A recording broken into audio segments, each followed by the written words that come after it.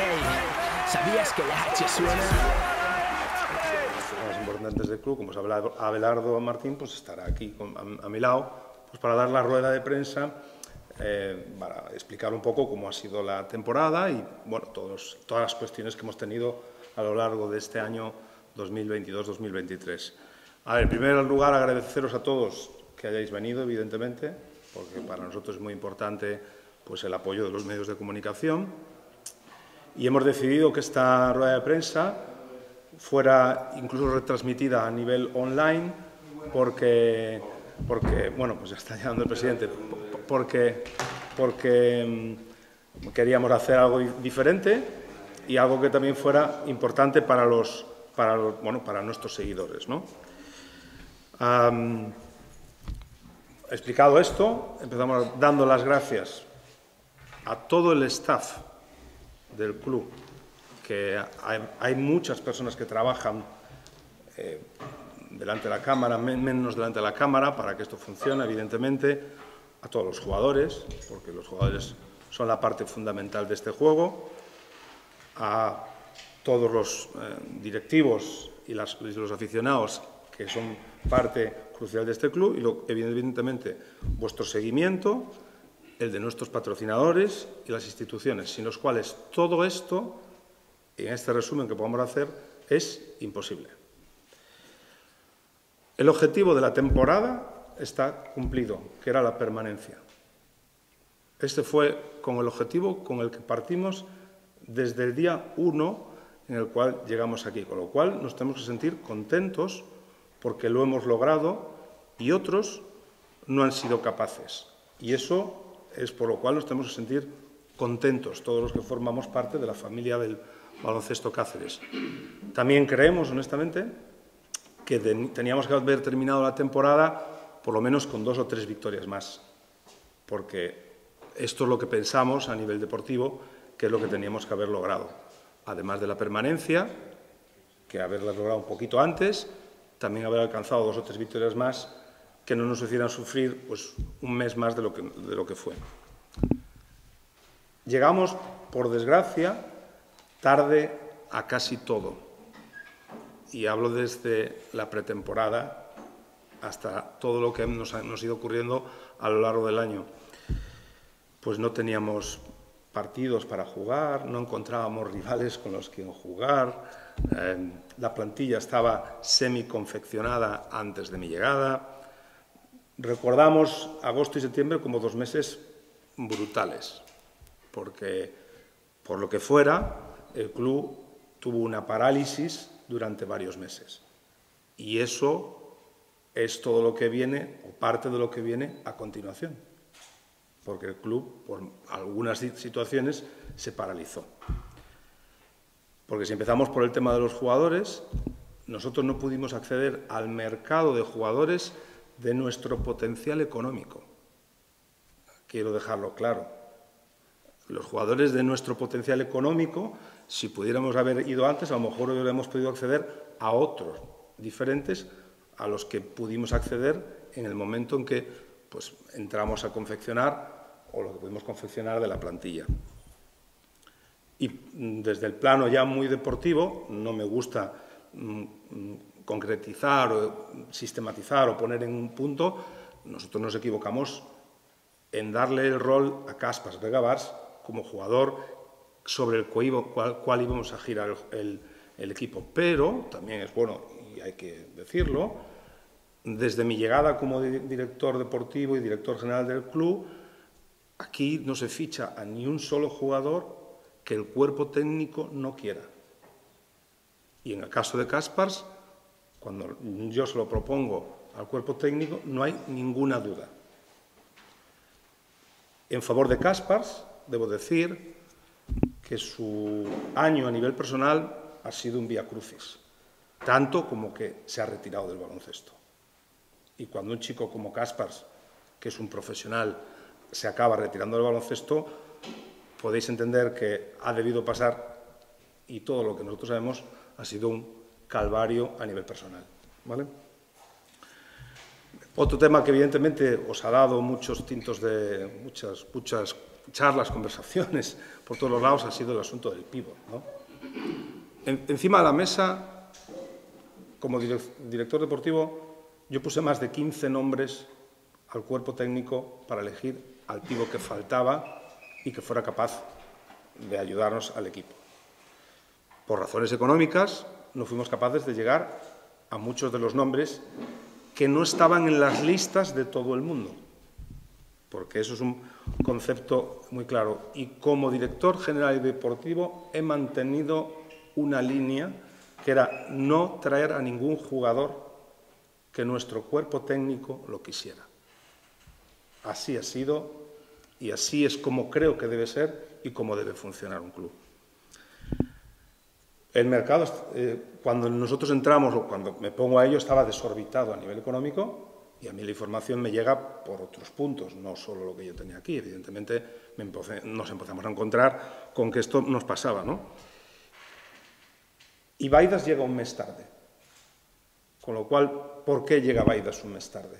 Baidas llega un mes tarde porque antes del tema de Marcus Kennedy, nosotros quisimos a Baidas pero llegamos un día tarde porque firmó un contrato de un mes en un equipo en Lituania. Es decir, que Baidas hubiera estado aquí y lo que intentamos buscar fue ver la situación de Marcos Kennedy, que fue el único día que a lo largo de todo el año yo os he dado una explicación a todos los medios de comunicación. Empezamos a tener problemas, porque es normal, porque somos un equipo modesto, pero humilde, pero a la vez mm, somos orgullosos de lo que somos. Y hay un momento cuando vemos que Caspars no nos da lo que nosotros pensamos, pues planteo a la Junta Directiva la posibilidad de fichar a un jugador. Y yo le pongo a la Junta Directiva tres nombres. Repito, siempre en consonancia y total acuerdo con el cuerpo técnico. Y la primera persona que nosotros ponemos y que nosotros decimos es Kenny Hasbrook. Pero de los tres que pudimos poner, en aquel momento, que fue el 1 de noviembre, nosotros tuvimos que acceder a Lisander Bracy. Y fue el que trajimos. El equipo no acaba respondiendo, pero también os puedo decir, siempre fue por prudencia económica, y antes de los últimos eh, fichajes, nosotros perdimos dos partidos, dos partidos que seguro que estáis todos de acuerdo conmigo, que fueron el del estudiante y el Palencia, que fueron muy injustos como los perdimos. O hubo mucha fortuna por parte de nuestros rivales en dos canastas que decidieron el partido porque los jugadores jugaron brillante y el, y el cuerpo técnico hizo una preparación excelente de esos dos partidos. A lo mejor si hubiéramos ganado esos dos partidos no hubiéramos tenido que ir al plan B, que fue decidirnos por dos jugadores como eh, eh, Kenny Hasbrook y Costas Basiliadis. ¿Por qué esos dos jugadores? Porque Kenny fue la primera referencia claramente cuando quisimos reforzar el equipo y en el caso de Costas porque buscábamos una persona que además fuera líder, que además supiera absorber lo de dentro y lo de fuera del campo. Y evidentemente con los dos hemos tenido mucha, mucha fortuna. Y en el tema de, Sasha Borogna, eh, que nosotros empezamos las negociaciones antes, venían únicas y exclusivamente motivadas por todos los problemas que llevábamos arrastrando con Julen. Julen desde el inicio de temporada hasta el día que ficha Sasha, hasta el día que ficha Sasha, no, era, no, arrancábamos, porque el pobre pues tiene un corazón de león, tiene, es, un, es un tigre, esto es una persona entregada a muerte a unos colores ha pasado un año muy duro a nivel físico. Pero el día que fichamos a Sabolonia, desde ese día, Julen no ha vuelto a perder un entrenamiento. Hicieron muy buen trabajo nuestros médicos, nuestros fisios, lo recuperaron muy bien, se le infiltró dos veces, se sacó líquido y a partir de ese momento habéis visto la progresión de Julen, cómo cambió, pero en aquel momento hubo un momento en que no sabíamos ni si podría terminar la temporada. Pero yo también tenía claro, y eso se lo hice a la Junta Directiva, que mientras no jugáramos en Alicante, en Alicante, ese jugador no podría entrar en el club, porque es normal, porque se le podría volver en contra a ese club si luego vamos allí con él y ganamos el partido. Eso es una cuestión muy lógica. Gracias a la directiva por habernos dado la opción de hacer estos cambios y esta mejora del equipo muy sustancial, porque ha sido una mejora del equipo muy sustancial. Y la temporada donde se marca es en los partidos de Juaristi, en casa y fuera. Aquí, porque un equipo que estaba peor que nosotros nos sacó del campo o nos, evidentemente, nos puso contra las cuerdas. Y mi reacción, lo digo para que lo sepáis, fue ir al vestuario y decir que la responsabilidad era mía, para proteger a todo el mundo, todos los jugadores y todo el cuerpo técnico. Y cuando yo tengo una reunión con la Junta Directiva, a la Junta Directiva, y está aquí mi presidente delante, expongo exactamente esto, porque creo que, es lo que así es como debía actuar una persona que era, y una persona que es, el director general y el director deportivo, con todas las consecuencias buenas y las malas. Pero en Juaristi también hubo un error muy grave, porque perdimos un partido que si hubiéramos ganado allí ya hubiéramos logrado la, permanencia, y luego tuvimos un problema que fue el de costas, del cual el club no tiene información hasta que sale en los medios de comunicación. Y eso fue un error grave. Y yo después le expliqué a todas las personas que formaban nuestro staff que no podía suceder eso porque nosotros teníamos que tener toda la información. Yo tenía una relación con Roberto todos los días, todos los partidos, previo y posterior, siempre he hablado con él, siempre. El único día que no hablé fue el día de Juaristi porque estaba muy enfadado porque habíamos perdido. Y dije, bueno, me voy a dar 24 horas para decirle lo que he visto y fue lo que hice. Creo que el día de Juaristi debimos haber, haber, haber certificado la permanencia. Este es mm, mi, análisis de la temporada. Y he tenido un perfil muy discreto a lo largo de todo este año. Me han tirado de las orejas con toda la razón las personas que me han traído aquí, porque he tenido un perfil muy discreto, pero desde mi punto de vista yo he querido darle todo el protagonismo a nuestro staff y a los jugadores. Y ha sido un perfil mío que he querido tomarlo así. A lo mejor basándome pues, en una frase de alguien al que me parece que es un fenómeno, que por desgracia se ha muerto, que era Arsenio, que siempre decía que hay mucho que decir pero poco que contar. Y esa es la realidad. Y ya salían muchas cosas, demasiadas, del equipo en el día a día, en todo lo que sucedía aquí.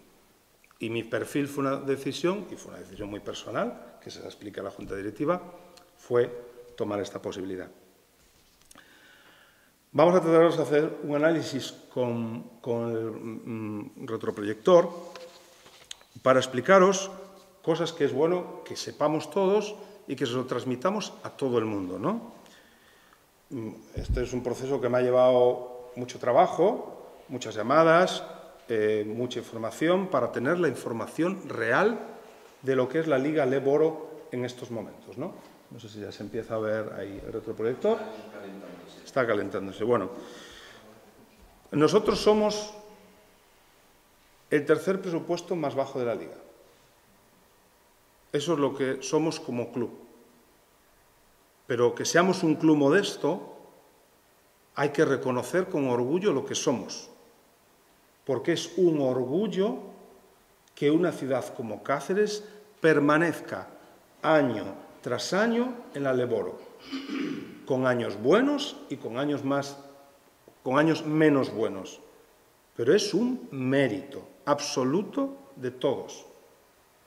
Y aquí, como veis, os plasmo en una diapositiva para que lo veáis muy claro cómo enfocamos lo que cómo lleva el club. el club tiene un porcentaje de un 55% que se obtiene a nivel de empresas privadas, un 30% a nivel público y un 15% de los abonos y las entradas. Llevamos 11 años sin ningún incremento por parte de las instituciones públicas a las cuales hay que agradecer su apoyo siempre, pero 11 años donde no ha habido ni un solo incremento de apoyo a este club. Y en los últimos cuatro años porque para eso soy un director general, hay una inflación del 22%. Es decir, nosotros tenemos un 22% de gastos más en los últimos cuatro años. Y repito, que hay que agradecerlo, pero esta es la realidad. Y ya veis cómo se divide esto. Nuestro club le dedica un 27% del presupuesto a tres aspectos. El IVA, la deuda, porque si no una casa no tira para adelante, y el equipo EVA. Estamos hablando del 27% del presupuesto. Y cuando os pongo estos datos es porque creo que es bueno que todos lo sepáis. Creo que es bueno que juzguéis lo mucho y lo bien que se hacen aquí las cosas. Porque se hacen muy bien muchas cosas. Y es mérito, no para nada mío, sino de todo lo que ha venido antes de que yo llegara aquí. Y esto, esto sucede muchas veces. Lo digo que sucede muchas veces. Pasa a la siguiente diapositiva. Aquí veis, os he puesto, para, no, para que nadie diga, porque evidentemente sé todo o casi todo, cómo podríamos dividir los grupos a nivel económico de la Leboro. Y ya veis dónde estamos. Que hayamos puesto el último nombre no significa eso. Lo hemos puesto para que veáis eh, qué es donde estamos. ¿no? Y, y esto es una realidad con la cual pues, tenemos que pelear, con la cual luchamos y con la cual siempre logramos salir adelante, que es el mérito que tiene el Cáceres, siempre salir adelante. Sigue, eh, Vicente. Otra cosa que, claro, que es que mirar, mirar ese gráfico, ¿no? Ah, es que tanto cambio y tanto los y tanto los mirar, mirar lo que ha sucedido esta temporada. Os he puesto un gráfico donde os he puesto los jugadores fichados y utilizados por los equipos en la temporada 22-23. Sí, supongo que alguno ahora mismo se está llevando una sorpresa, claro. Porque evidentemente mirar dónde estamos, mirar que nadie se quedó parado. Nadie, nadie de los que ha peleado por mantener la categoría, mirar dónde está. Y nosotros tenemos 18, incluido con, Pinilla. Para que veáis dónde estamos, es decir, que no, ningún, no ha sido ni una casualidad, y todo viene motivado, repito, por esa parálisis que tuvimos en esos meses entre la finalización de la temporada anterior y arrancar esta, y que nos quedamos sin opción real de entrar a los mejores jugadores de nuestro potencial económico. Ahí lo tenéis. Y fijaros, no es una casualidad, pero fijaros que los dos grupos de abajo no es por casualidad, pero mirar por qué al final funcionan. Y nosotros hemos estado en otra línea, porque hemos tenido que trabajar por otros caminos. Hemos tenido lesiones de siete, de siete semanas, que nos obligó a fichar, por ejemplo, a un jugador. El tema de Marcus Kennedy, sin, esperando por Baidas, nos obligó a fichar a Litu. Claro, cuando fuimos a jugar, a jugar a Oviedo, íbamos seis jugadores.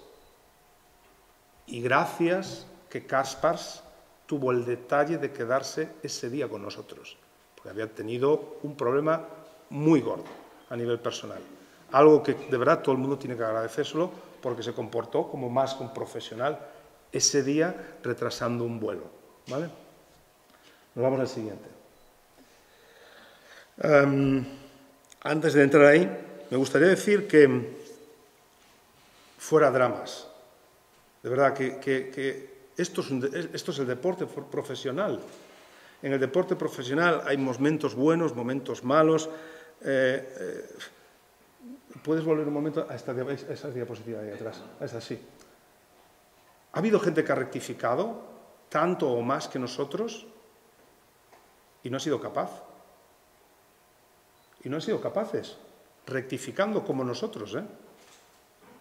Con lo cual, creo que tiene mérito que hayamos rectificado bien. Porque muchas veces reconducir difíciles situaciones es lo más difícil. O por lo menos esto es lo que hablamos entre los profesionales. Cuando las cosas no te van bien, ser capaces de reconducirlo. Y creo que ahí lo hemos hecho. Y os pongo casos, mirad, muy, muy sencillos. Ahí lo tenéis. Oviedo. El año pasado fue quinto en la liga. Y mirad lo que ha tenido que hacer para salvar la categoría, de lo cual pues me alegro como ha pasado con nosotros, pues otro club histórico en esta liga. Pues pongo un club en la ACB, como Manresa. El año pasado juega un temporadón, la Champions League, y este año han tenido que llegar a 20 o 21 jugadores para dar un giro. Es parte de esto, pero creo que este drama que muchas veces vemos luego provoca muchas veces estas cosas que estamos viendo en las redes sociales y en el racismo y en todo esto. Todo a veces es un caldo de cultivo para cosas que tenemos que tener cuidado y nosotros, mm, como todos vosotros que nos consideramos personas pues, maduras, adultas, tenemos que tener a veces cuidado con, todo lo que sucede en nuestro entorno. Em, pasa a la siguiente. Eh, creo que hay una más, me parece. ¿Alguna había una más? Mira, ah, sí, sí, la siguiente, luego volvemos para atrás. Vale. Mira, en la temporada 21-22, el aforo medio que tuvo el multiusos de público fueron 1.100 personas. En la mejor temporada del Cáceres en los últimos 10 años. Sin ninguna duda. Mérito absoluto. Deportivo, todo. Os lo dije en mi llegada y os lo digo otra vez. Pero ese fue el aforo medio que tuvimos con ese pico en los playoffs, jugándonos el ascenso al ACB, de 2.000 espectadores.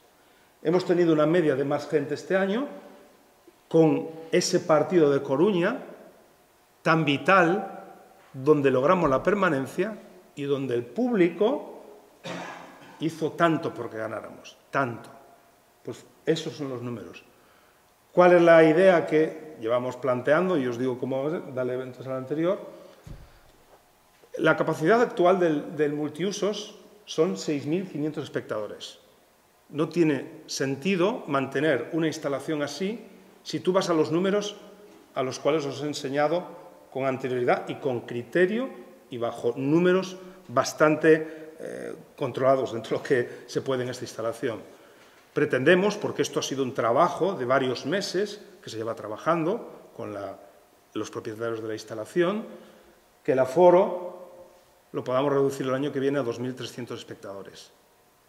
Porque si logramos un efecto completamente distinto al que tenemos, seguro que va a ser beneficioso para todo el mundo. Y en eso llevamos trabajando bastante tiempo. Sí, la siguiente. Bueno, esto es lo que estaba explicando antes, grandes temporadas, bajas temporadas, esto ha venido un poco, que de repente lo haces muy bien, siempre después de un muy buen año, a veces viene un mal año, por esto donde estamos, ¿no? Vale, perfecto.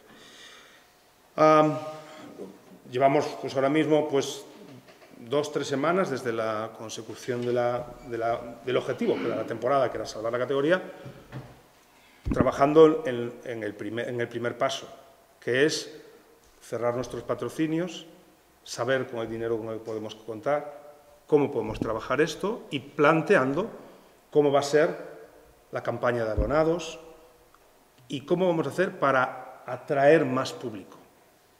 Creo que este año con mucho trabajo y mucho esfuerzo y muchas veces mucho permiso por parte de la Junta Directiva a propuestas que yo ponía encima de la mesa, porque así es como debe ser y es este club, pues hemos logrado, no estando bien a nivel deportivo en resultados, traer más gente.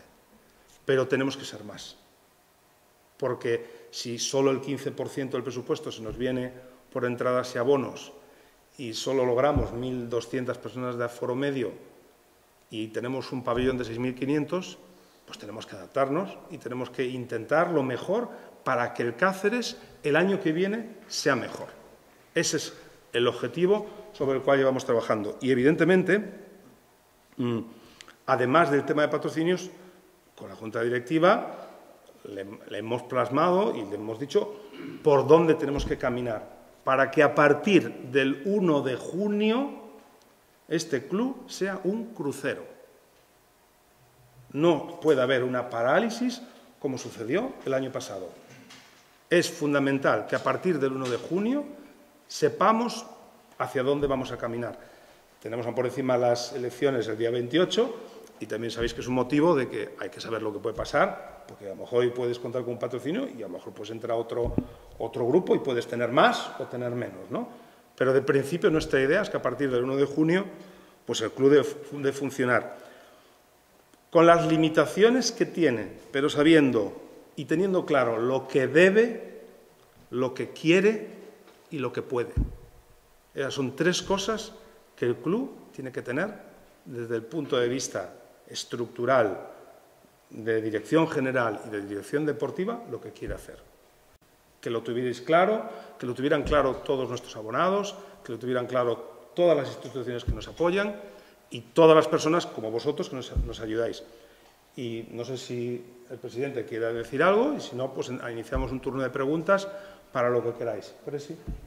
No, nada. Eh, bueno, Perdón por el retraso, en principio estaba en temas médicos y no podía abrir antes. Eh, por mi parte, bueno, la, rueda de prensa hoy es un análisis que hace Alberto de la temporada. La directiva nos vamos a juntar eh, después de las elecciones el lunes seguramente para mm, ver todo cómo ha sucedido el año y tomar decisiones. en principio, los análisis que ha hecho Alberto pues son todos reales y son como, como él lo ha visto. Creo que tiene razón en muchísimas cosas. Y nada más, nosotros, por nuestra parte, desde el club mm, vamos a intentar que funcione, como ha dicho Alberto, a partir de ahora ya no nos pase como el año pasado, que tuvimos un, periodo ahí eh, malo por un malentendimiento que hubo con el anterior director deportivo.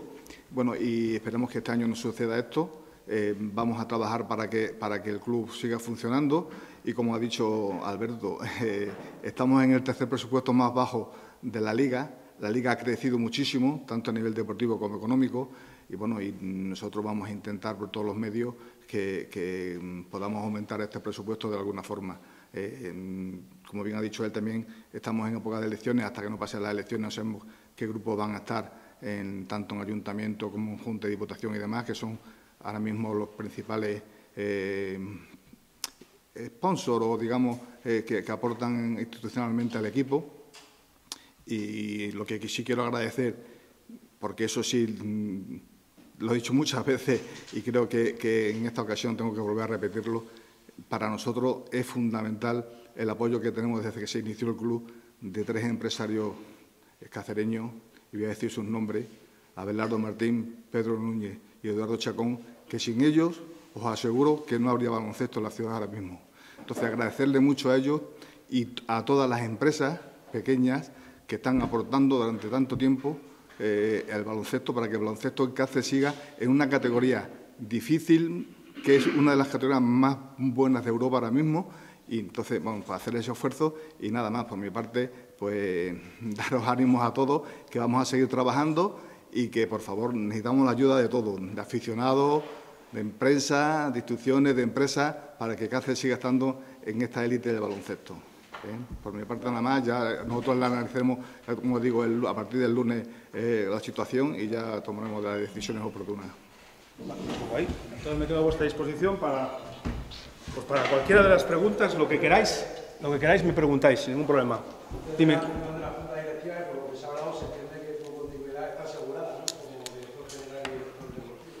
A ver, mm, voy a ser lo más honesto posible. Quiere contrato ahora mismo en vigor con nosotros. Claro, y yo le he puesto, les he dicho, pues tengo alguna cosa más encima de la mesa y nos hemos emplazado para que me dieran unos días, cuatro o cinco días, para decir, aquí estoy, porque no quiero tomar una decisión precipitada sin antes hablarlo con mi familia, pero para mí es que la Junta Directiva Es que me, siento unido a ellos, ya no solo profesionalmente, y se lo he dicho personalmente, me siento unido a nivel personal, porque durante este año me han demostrado muchas cosas que no solo se pueden valorar a nivel profesional, hay que valorarlos también a nivel personal. Y a veces puedes pensar en que puedes ir a otro sitio o lo que sea, pero hay que valorar mucho a determinadas personas. Y, creo que, que en esto hay una directiva excelente. Difícil, como en todos los lados, pero excelente.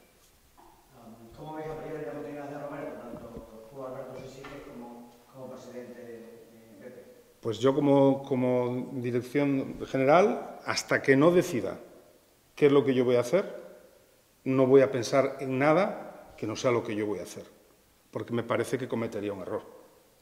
Yo no puedo o no debo condicionar con mi opinión si tomo la decisión de no seguir.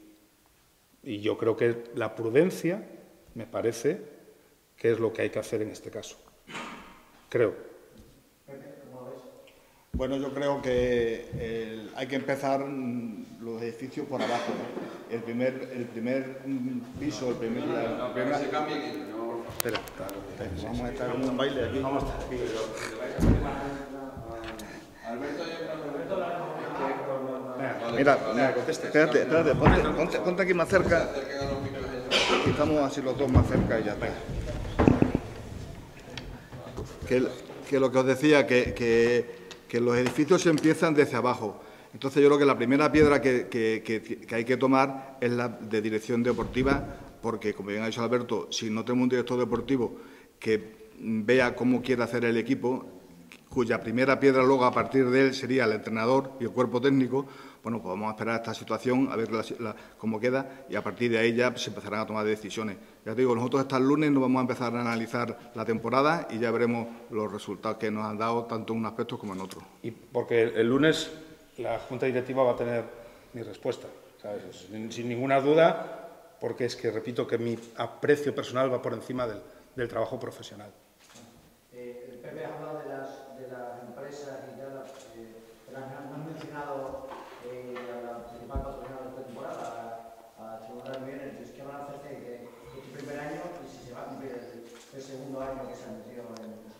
Bueno, he hablado, de, los pilares de este proyecto, que son los tres empresarios que he dicho antes y que nos apoyan y estarán con nosotros, yo creo que, hasta el final, porque quieren al club, a la ciudad y a todo. A partir de ahí, he agradecido a todas las demás empresas que han colaborado con nosotros, entre ellas, evidentemente, Extremadura Neo Energy, que tenemos dos años de contrato y vamos a seguir eh, funcionando con ellos porque están contentos con la situación que ha habido y si quieren seguir apostando por el baloncesto en Cáceres y van a apostar más.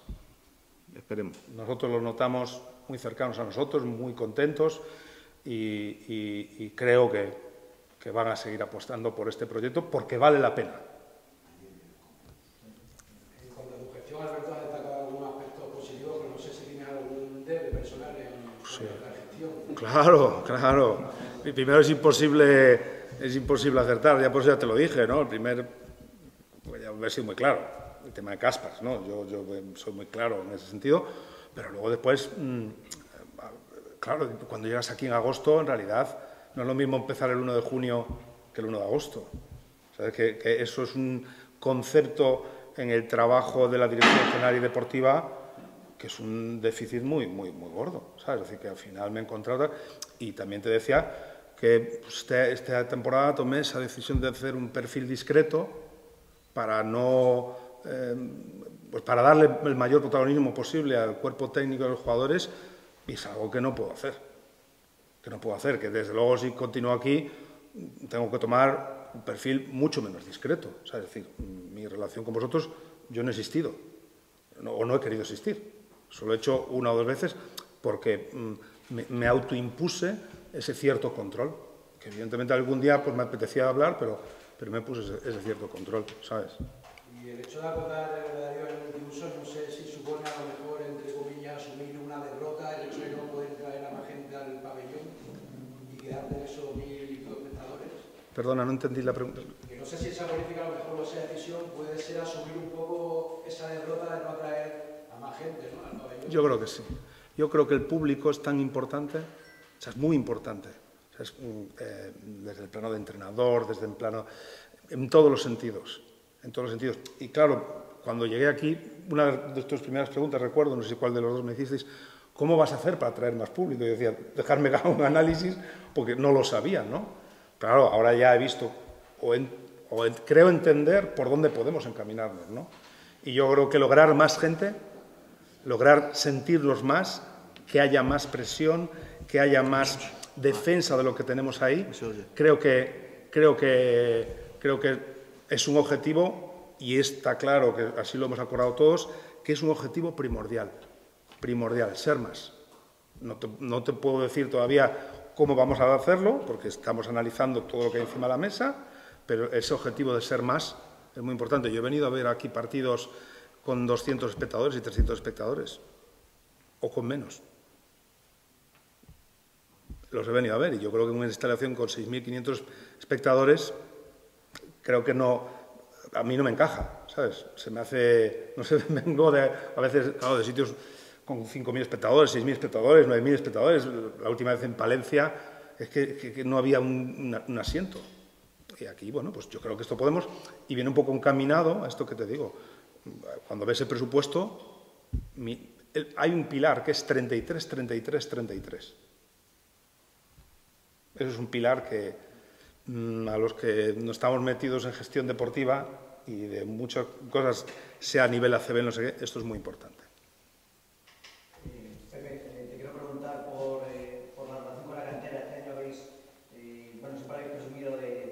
Cantera.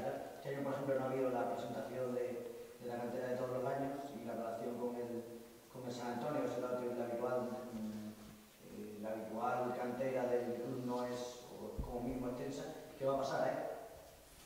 Bueno, vamos a analizar la situación que ha habido este año, que sí es cierto que ha habido ciertos problemas con, con la relación, eh, esperemos arreglarlo. De todas formas, tenemos, eh, seguimos, lo que, sí lo que sí es cierto es que queremos abrirnos la cantera a más a toda la ciudad. Eh, tenemos un acuerdo con el Club Sport Making, en el que también tienen 100 chavales, me parece, o por ahí ya. Y bueno, y lo que sí que el club quiere abrirse a, a la cantera a toda la ciudad, a toda la ciudad, a toda la provincia, incluso si me apura, a toda la región. Entonces, el, el objetivo del club, que el club sea referente del baloncesto eh, extremeño, ¿no? Y para ello tenemos que tener una cantera abierta a todo el mundo. Eh, evidentemente, con el San Antonio seguiremos contando si ellos quieren seguir contando con nosotros, pero eh, queremos ser abiertos a toda la ciudad para que la cantera sea grande, que la afición al baloncesto crezca en todos los sentidos, que eso a, a la vez traiga a la gente al pabellón. Entonces, bueno, pues queremos mm, eh, abrir en, en ese aspecto la cantera y, da- y darle una vuelta ahora cuando acabe la temporada, sí. ¿Hay algún jugador esta temporada que tenga contrato para la próxima? Sí, Que creo Sí. que no es Dani, ¿no? Dani Sí, Rodríguez. Dani. ¿Hay alguno más? Sí, tenemos una opción, una opción con Yehu Laf- Lafail, que es el jugador que trajimos para el equipo E- E- EVA, que tenemos una opción hasta el 30 de junio de decidir si nos lo queremos quedar o no, ya para la plantilla del Leboro. Era un, un jugador que traíamos para progresar, porque lleva tres años jugando a baloncesto y, y to- tomaremos una decisión sobre él el 30 de junio. ¿Por qué? Pues por, por esto mismo que digo, pues hagamos la casa por los pilares. Porque a lo mejor yo puedo decir que me gusta Yehu, pero yo no, quiero, no voy a seguir, pues el que venga a mi sitio o que se diga, pues diga, pues este jugador lo quiero o no lo quiero. Sí, porque hablaba al principio de esos dos meses de vacío. Claro. Eh, quizás, eh, poco aficionado, Sí. nada, ¿no? Es decir, y la pregunta que se hace, que acaba tanto el presidente como actriz, ¿no? Que teniendo un bloque que llegó a tanto el año pasado, ¿por qué no se intentó, por lo menos, apuntalar dos, tres, ¿no? Jugadores a los que eran imposibles, ¿no? Como Devin. Pues mira. ¿no? Pero había jugadores ahí pues, Pero pues te lo voy a explicar. Yo te voy a explicar lo, lo que esto yo no estaba, pero fuera de que no esté, cuando, sí me pasa igual. El equipo pequeño, como haga una buena temporada, lo tiene muy duro. Porque en la CB pasa lo mismo. Y en la LED pasa lo mismo y mucho eso, porque a lo mejor mm, no puedes, porque a lo mejor no llegas, porque a lo mejor, mm, claro, una persona que destaca mucho, mm, pues de repente lo quieren para otro sitio. Y yo creo que esta es la vida, honestamente, de los clubs, eh, pues sucede. Yo te puedo poner ejemplos de la CB, los que quieras, pero también te puedo poner ejemplos en, en, en Leboro, de repente. Sí, eso lo entiendo, pero por ejemplo, todos los años no suele pasar. Eso, claro. que podemos es decir, alguna vez. Estamos no todos sé los si años año, igual. Si el próximo año resulta que funciona, a lo mejor vale la pena en lugar de ese pico que nos gastamos de más decir, vamos a echarlo al principio para apuntarlo a lo que tenemos. Bueno, ¿no? eh, este, este año, este año concretamente, aparte de, de lo que está diciendo Alberto, de que todos los jugadores se revalorizan y cuando hace una buena temporada en los clubes grandes la apuestan por ello y dan bastante más dinero que lo que nosotros podemos dar, eh, se nos ha juntado con, con el parón que hemos tenido por, el- por el problema con, con la dirección deportiva. Eh, aparte de eso, normalmente casi todos los años nos está pasando lo mismo. Podemos retener dos, tres como muchos jugadores. Y claro que lo intentamos.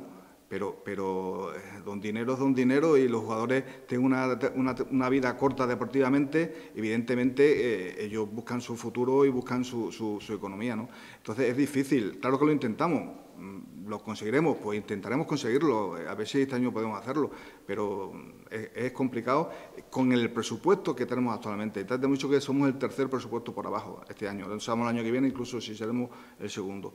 Esperemos que no, que, que no podamos tener algo más.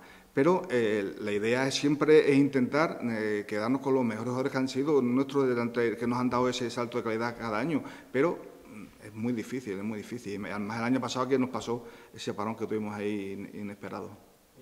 Pepe, ¿qué desfase, eh, aunque económico ha generado la- los fichajes que ya ha iniciado la temporada, las llegadas de, de Costas? que- Eso te lo cuento yo. ¿Puedes decir? Claro. ¿Lo quieres? Sí, No, no, lo, lo que hemos, lo, lo que hemos hecho ha sido menos reducción de deuda. Eso es muy fácil, ¿no? Si tú tienes un- haces un, una- un- un- un cálculo presupuestario y como yo te decía, pues, bueno, pues vamos a hacer tanto de deuda, pues menos deuda. No está todavía sacar los Puede números, claro. yo- ¿Cómo? 40 por ahí, ¿Cómo? 40.000, No entiendo la pregunta. 40.000 el desfase económico, o sea, lo que habéis gastado de más ya ha iniciado la temporada. No, no, no, no, no, no, no, Menos, menos. menos, mucho menos. ¿Quieres que lo diga? Pues, pues- que- pues- es que no- yo me- no- yo- yo yo me no lo sé, yo, me lo sé. Ha habido un desfase de unos 30.000 euros por ahí. Es lo que ha habido. Ese es el desfase que ha habido de principio. Yo lo, yo lo único que pido es que tengo Pero mucha que no prudencia, mucha prudencia con los números, porque claro que podía poner los números de todo el mundo en nuestro presupuesto, pero Los nuestros, te digo, el- el- lo que hemos tenido es- ha sido que 30.000 que teníamos que ajustar para alguna cosa, también lo hemos ahorrado por otro lado, porque nos hemos ahorrado unas cosas, pero hemos logrado que gi- giráramos esos 30.000 euros. Pero para que no hubiera, lo que no queríamos bajo ningún concepto es aumentar la deuda. Tenemos que seguir como en, la la en una casa, tú no puedes hacer una- un continuo ir tirando de, de aumento porque eso al final va mal. Y a día de hoy, ¿cuál sería la deuda del club y cómo afecta la supervivencia del club a medio corto plazo? Va bien. No haya una cifra A ver, yo... Sí, sí, Sí, claro. Digo, digo, Claro. Abelardo. La deuda es medio histórica. No se puede contar porque tenemos que acercarnos a muchas entidades financieras y no como- Vendiendo. así porque es que no te dan ni crédito, ni avales, ni absolutamente nada. Entiéndelo, que no es que no queramos decir Claro. cuánto debemos. Pero también te puedo decir que Que se va reduciendo. Que, que lo importante es lo que estamos haciendo, ¿me explico? Jamás tener un problema con ninguna institución, no tener deudas con seguridad, esas cosas que son vitales. Y el club tiene una supervivencia a corto, a medio, a largo plazo, seguro, dentro de esta est- estrechez. No hay más que decir. Y solo tenemos dos caminos, que es aumentar más gente y que podamos tener un poquito más de las instituciones. Que si podemos tener eso, pues podremos mejorar. ¿Y, eh, ¿Ha habido algún retraso en el pago en los últimos meses, tengo entendido? Bueno, Eso es- eso es eso, liquidez. eso, Javier, es, es una política de todos los años porque tú sabes que las instituciones pagan cuando pagan. Entonces, siempre hay una, una época del año en que mientras llega el dinero de una institución puede haber un mes que se retrase un poquito, pero vamos, eh, normalmente no pasa más de eso. Estamos y al además, día. además, los empresarios, los empresarios que he dicho antes que son el pilar de la casa nos ayudan para que eso no pase. Estamos al día. Exactamente. Estamos al día. Los jugadores no se quedan sin cobrar nunca. Estamos al día. Y eso, cuando uno está al día, te demuestra que las cosas se hacen bien.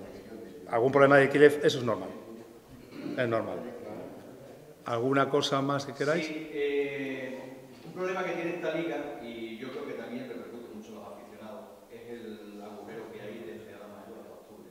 Hablabais de empezar el proyecto, se decide el lunes, y una vez sea o no sea, no sé si el club, si no estás tú, o contigo, si estás tú, vaya a tener otro ratito con nosotros para contar, vaya Seguro. a tener afición, porque, Seguro. eh, dos meses, pasan los meses, la, la afición se Sí. pregunta, se pone nerviosa. Yo entiendo, lo entiendo la política, pero oh, lo, lo traslado un poco reflejo de lo que hay en la calle, ¿no? Es decir, y Mira, al final, no, el eh, aficionado se cansa, que tenía y que acaba en mayo como loco, yo me voy a abonar, mi tal, tal, pero no, sale nada, pero se nos olvida Sí, bueno, ya, ya el año pasado fue un año, te estoy diciendo, un poco excepcional por el problema que tenemos, pero normal, normalmente, eh, además este año vamos a empezar a funcionar antes, como te ha dicho Alberto. El 1 de junio. Eh, va a haber evidentemente noticias de si hay renovaciones, si hay algún contacto con los jugadores que se puede traer y demás, y además queremos sacar pronto la campaña de abonados y evidentemente tenemos que tenerlos informados y, y venderles la ilusión que vamos a tener el año que viene, que eso os lo aseguro que nunca va a faltar ilusión y ganas de estar en la liga y trabajar para que el Cáceres siga teniendo baloncesto. ¿eh? Y eso vamos a mantenerlo siempre. Quiero insistir en una cosa, ya lo he dicho, que es que es un orgullo como competimos.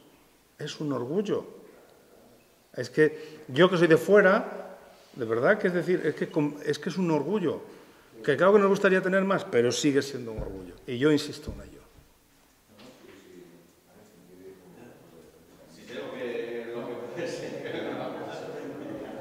Vale. ¿Alguna cosa más? ¿No? Pues muchas gracias. Muchas gracias a todos. Es que Cáceres quiere baloncesto. Es negros unidos son Cáceres.